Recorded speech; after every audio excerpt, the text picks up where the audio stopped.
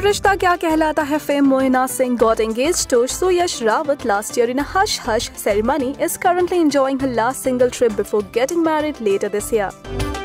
During an audition in the dance reality show Dance India Dance, the actor had revealed that she belongs from the royal family of Rewa, Madhya Pradesh and is a princess in real life.